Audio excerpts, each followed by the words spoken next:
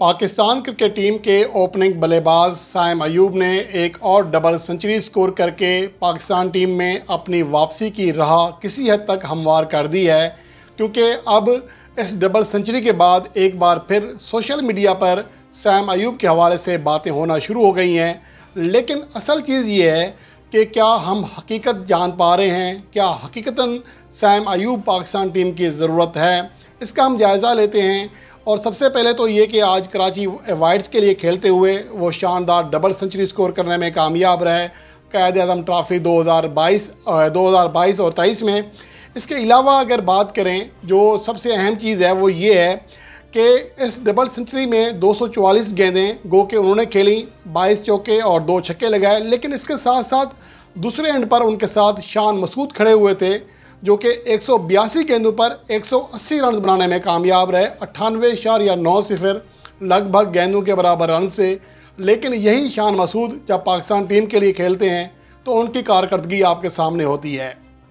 आज सैम अयूब ने और शान मसूद ने तीन रन की बड़ी शराकत कायम की।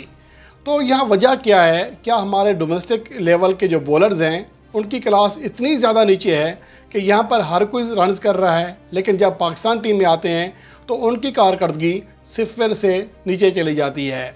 अब यहाँ पर बात करते हैं, असल चीज़ यह है कि सैम अयूब, क्योंकि एक तरह से जहर मिजाज बल्लेबाज हैं कैरिबियन प्रीमियर लीग में वो शानदार फॉर्म में दिखाई दिए। उससे पहले पाकिस्तान सुपर लीग के गुजशत एडिशन में वो पाँच फिफ्टियाँ बनाने में कामयाब रहे, जिसकी वजह से जो ख़ास तौर पर उनके जो छक्के हैं लेग साइड पर, सईद अनवर के स्टाइल में, उसकी वजह से उसकी पसंदगी का जो ग्राफ है, वो ऊपर होता हुआ जा रहा है।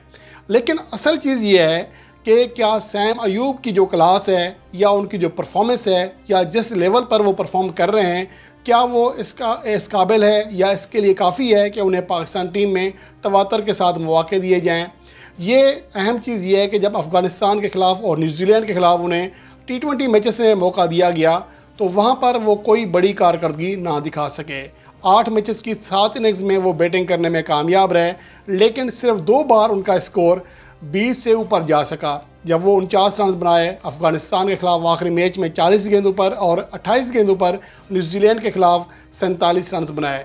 इसके अलावा जो दीगर इनिंग्स थी, अफ़गानिस्तान के ख़िलाफ़ सत्रह और सिफर पर आउट हुए, जबकि न्यूजीलैंड के ख़िलाफ़ सिफर दस और फिर सिफर पर आउट हुए।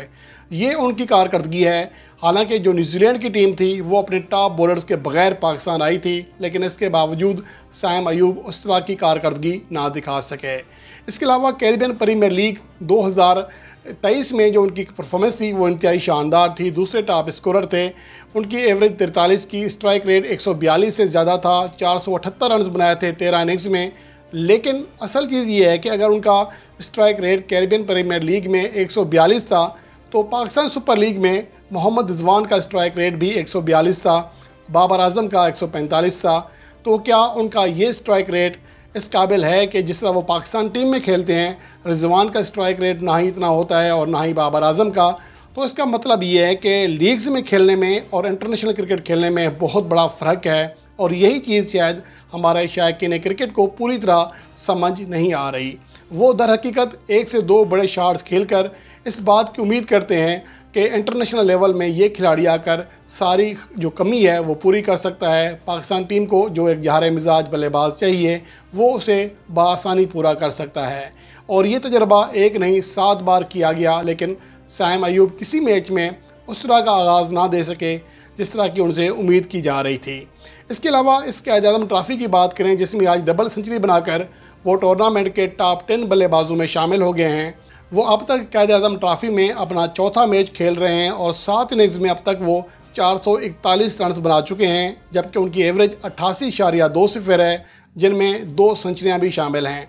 लेकिन इसके अलावा देखा जाए, साहबजादा फरहान चौरासी की इशारिया सात सिफर की एवरेज के साथ आठ सौ सैंतालीस रन बना चुके हैं। इसके अलावा अली जरियाब, आसिफ जो कि सैम अयूब के आइन बराबर सात इनिंग्स के लिए हैं, वो 222 रन की इनिंग्स समेत छः रन बना चुके हैं, जो कि बहुत ज़्यादा रन हैं सैम अयूब के मुकाबले में। इसके अलावा अहमद शहजाद, जिसने एक इनिंग्स कम खेली है, सैम अयूब से, वो भी दो सौ रन की, यानी 250 प्लस रन की इनिंग्स के साथ चार रन बना चुके हैं, वो भी सैम अयूब से आगे हैं। तो इसका मतलब ये है कि डोमेस्टिक लेवल में ख़ास तौर पर कायद अजम ट्रॉफी में, जिस लेवल के बॉलर्स खेल रहे हैं, उनके खिलाफ इस तरह का रन्स करना, ये स्कोर करना इतनी बड़ी बात नहीं है, जितना कि कहा जा रहा है। लेकिन इसके बावजूद साइम अयूब से काफ़ी शायकीन क्रिकेट को उम्मीदें हैं कि वो पाकिस्तान के लिए सुपरस्टार बनकर उभरेगा। हमारी भी यही ख्वाहिश है और हमारी भी ये उम्मीद है कि वो आगे चलकर पाकिस्तान टीम के लिए परफॉर्मेंस देगा। लेकिन जिस परफॉर्मेंस की बुनियाद पर हम उनसे बहुत ज़्यादा उम्मीदें वाबस्ता कर रहे हैं, शायद वो लेवल वैसा नहीं है जो उन्हें साबित कर सके कि वो वाकई एक वर्ल्ड क्लास खिलाड़ी है। लेकिन बहरहाल जब उन्हें दोबारा मौका मिलेगा तो उम्मीद करते हैं कि सैम अयूब पहले वाली जो गलती है या पहले वाली नाकामी है, उसको नहीं दोहराएगा।